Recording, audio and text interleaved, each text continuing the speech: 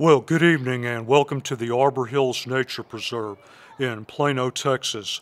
Tonight's exercise is a battery endurance test of the Nitecore EDC 33.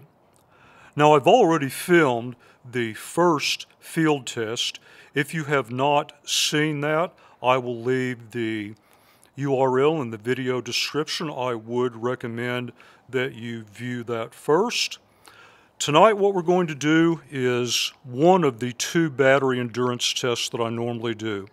This will be the simpler exercise where I take a light out, I put it in a specific output level, typically high or turbo. Tonight it's going to be high, and then I just let it run until the battery is completely exhausted. We get an opportunity to see how it burns down over time. And I'm going to periodically attempt to put the light in the two turbo outputs. That'll give us a very approximate indication if there are any issues with running the battery down to a certain level and not being able to access one or both turbo outputs. The second type of test I do will probably not be done with this light, but I typically go out to, say, the LBJ grasslands, and I do what I call a lost in the wilderness test. So I try to simulate being lost, try to find my way back, and it's typically a multi-output, like partially medium, partially high, maybe a few bursts in turbo. I've done that with a few lights in the past. But tonight, very simple exercise. Let the sun go down some more. I'm going to put the light in high output. Leave it there. Other than those attempts to go into turbo, take it out into the reserve and we'll see how long it takes to burn the battery down. Now, for comparison purposes, the stated ANSI FL1 runtime per high, if I remember correctly, is about two and a half hours. So keep that in the back of your mind and we'll see how things progress. All right, I just turned the light on in high. I've started the stopwatch. I thought that uh, since this is a battery endurance test and not an output test, that I could start a little early while there's still daylight and uh, show you a few things.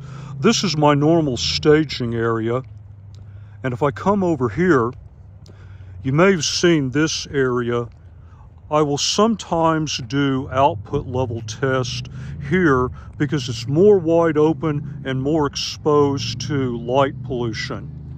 Then as we swing around, you can see the playground area there. That's where I do the uh, close proximity search test.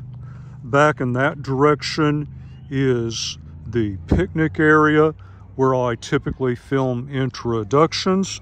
And then as we move down this incline, path keeps going downhill. Then eventually I come to the bridge where I do output level tests. So I thought people who are frequent viewers of the channel might uh, enjoy a little bit of behind the scenes.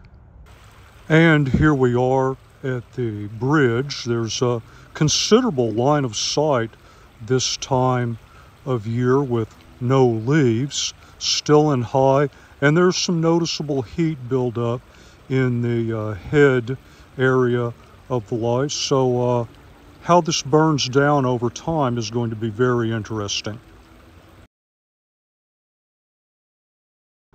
It's only been a little over 12 minutes, um, even though there's still plenty of light out, certainly for following a concrete path. I've been uh, spending some time off the concrete pathway, and it's very nice to have a light like this so that I can see shadowing along the way, indicating areas that I might trip or get in trouble. I can get uh, a very good idea of what the slope and direction of this dirt path is. Again, areas that I might get in trouble. If I had no light at all, I could easily get in trouble, especially that now that we're coming off of rain, some of this ground is real easy to walk along, and then some areas get extremely wet. And so as it gets darker, having this light to make my way across territory is very valuable. So it's getting very wet through here. So I've got to watch for soft areas in here that I might trip. Of course, it's also nice to scan out ahead and possibly pick up uh, eye shine. Well, I'm just going to keep going.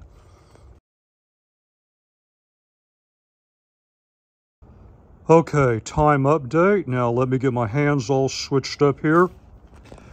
At the top of the observation tower, it's about 35 yards out to the edge of that tree line. The heat level in the head area of the light has remained pretty consistent.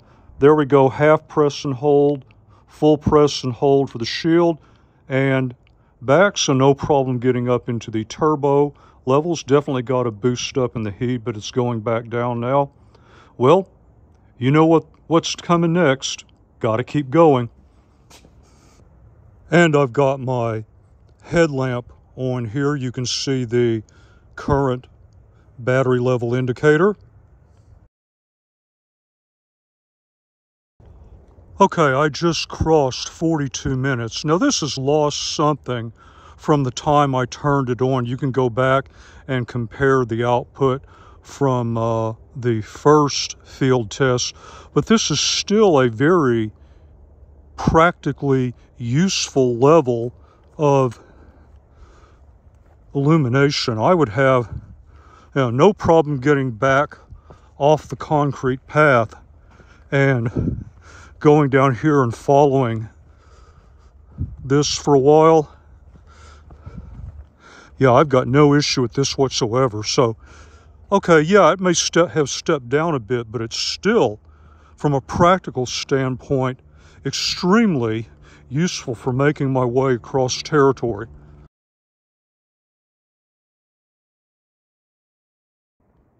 Okay, I moved on down the path. I've got my headlamp on 2000 lumen spot and the EDC 33 and high.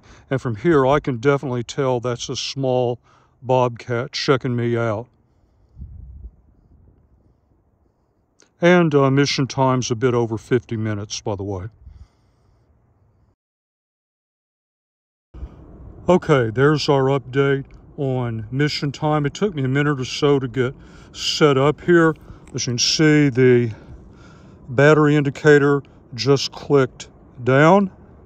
Let me uh, get my headlamp off.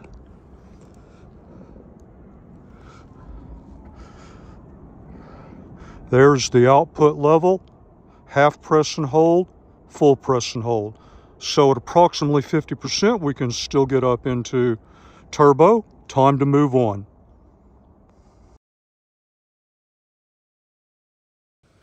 All right, there is current mission time. Let me get my headlamp off.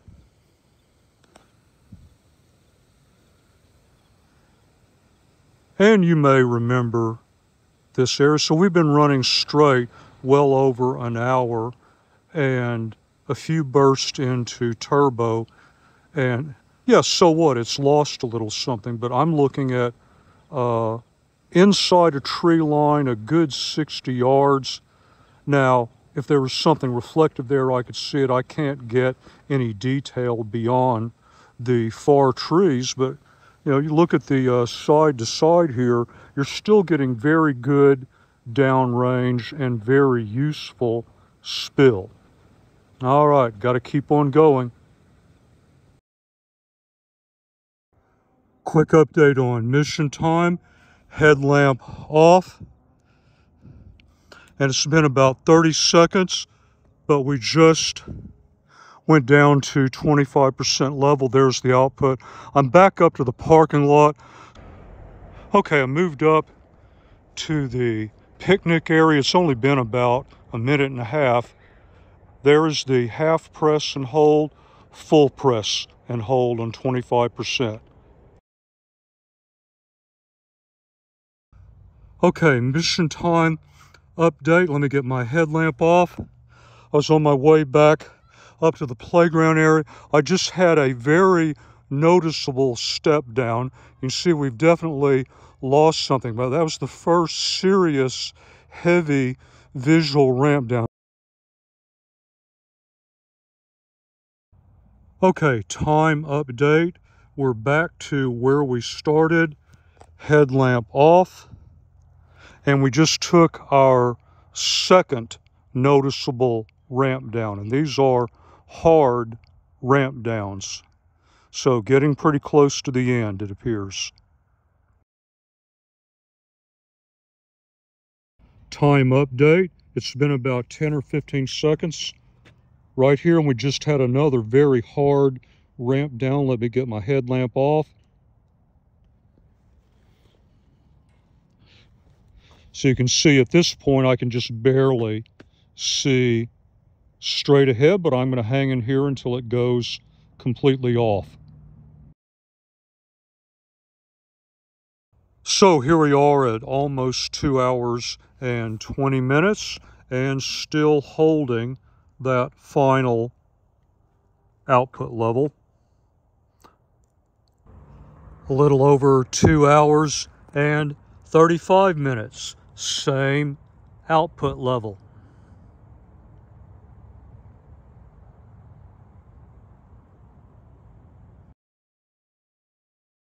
So, two hours, 37 minutes, and game over. On the subject of battery, since my wife loaned me the light for a while, I did a drain test. What I did was completely charge it, then set it aside for one week, and then charged it again using an MH15, and it took less than 50 seconds to completely charge. So, that's it. Very interesting evening. I hope you got some useful information. And as always, until the next review, thank you very much for your time and thank you for watching the video.